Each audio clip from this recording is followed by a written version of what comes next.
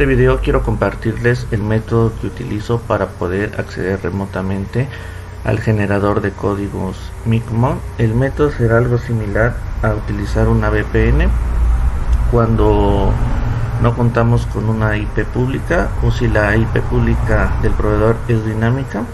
Este método también nos va a funcionar ya que vamos a estar utilizando lo que es la cloud del equipo MikroTik ahora vamos a proceder. Bueno en este caso estoy utilizando el DHCP client. Aquí pueden ver que el equipo del proveedor me está asignando una dirección. Así que bueno esto voy a eliminarlo ya que no lo recomiendo porque con el tiempo eh, puede cambiar. Así que vamos a estar utilizando una dirección estática de este rango. Bueno voy a eliminar esto. Ahora sí pasamos a IP addresses y vamos a colocar una dirección estática. En este caso voy a estar utilizando esta. Colocamos el ether 1 una vez que tenemos esos nos vamos a IP y colocamos el gateway de nuestro proveedor. En este caso estoy utilizando un modem de Telmex. De esta manera quedaría. Vamos aceptamos. Ahora pasamos a lo que es la cloud IP cloud y vamos a habilitarlo en este caso podemos colocar un minuto o tres minutos ya que es un tiempo prudente. En este caso voy a dejarlo en un minuto. Aplicamos. Y aquí nos da el DNSNA esto lo vamos a necesitar. Bueno voy a copiarlo. Cerramos. Ahora sí pasamos a la parte de nuestro modem.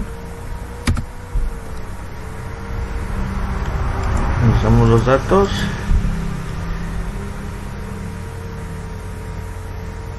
Aquí lo tenemos. En este caso estoy utilizando un equipo Technicolor. No recuerdo el modelo pero este equipo es muy intuitivo así que vamos a pasar a los servicios WAN y vamos a bueno aquí abriré lo que es mostrar partes avanzadas y aquí necesitamos lo que es DMZ vamos a activarlo y vamos a colocar la dirección estática que acabamos de colocar para la entrada one. En este caso ya tenemos. Eso es lo que vamos a necesitar. Ya una vez seleccionado vamos a guardar los cambios. Listo. Cerramos. Esto voy a minimizar. También esto. Y ahora sí pasamos a nuestro servidor Micmon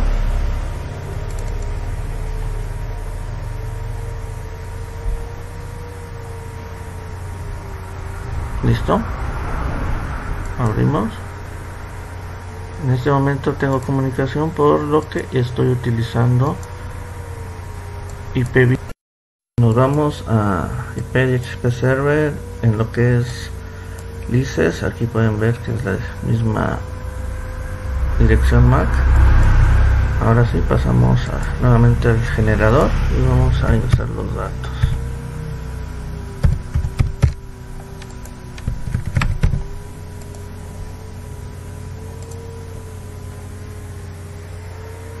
Ahora vamos a editar.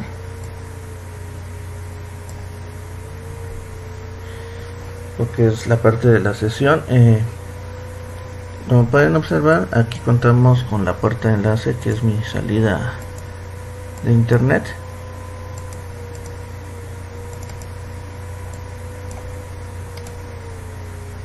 Ahora qué vamos a hacer? Recuerden que ya había copiado la parte de, de, de Bueno, vamos a copiarlo de nuevo.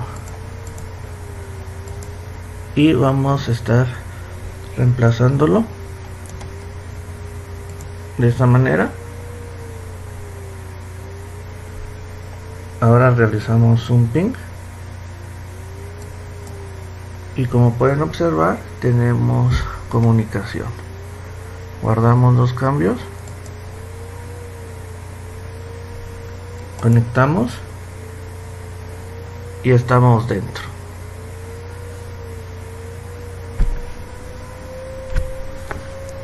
ahora bueno vamos a abrir a ver vamos a cerrar esto minimizarlo. Cerramos nuestro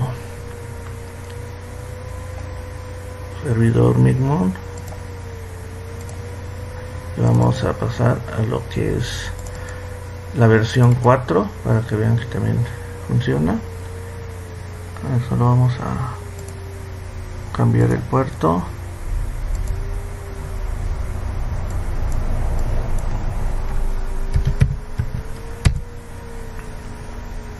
por la API de nuestro equipo MikroTik.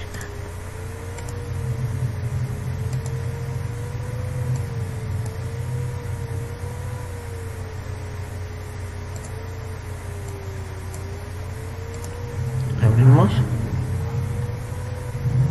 Esto voy a minimizar. Nuevamente colocamos los datos.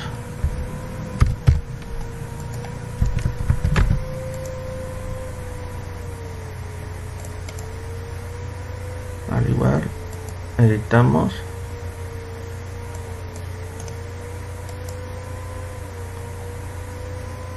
guardamos y le damos en conectar y al igual estamos dentro. Bueno ahora dirán esto sucede porque estoy conectado eh, con el mismo equipo MikroTik la misma red. Lo que vamos a hacer es bueno aquí pueden observar que acabo de desconectar el cable ethernet y se nos cierra lo que es la winbox. Esto también dejaría de funcionar. Ahora voy a conectarme a una red diferente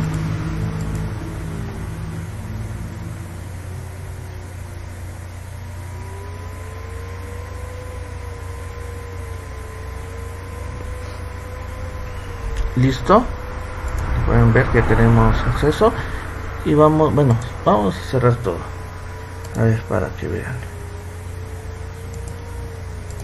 Abrimos, abrimos lo que es el primer servidor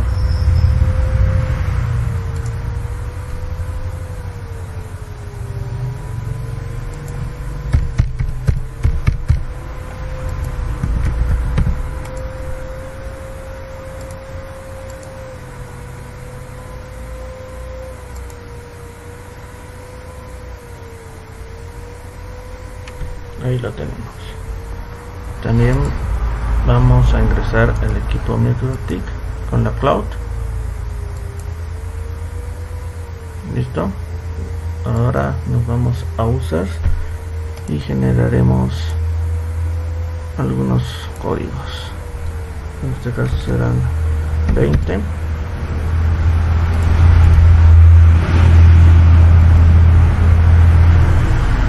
revisamos y aquí se van creando.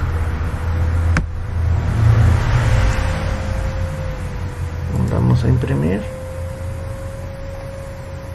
Y ahí lo tenemos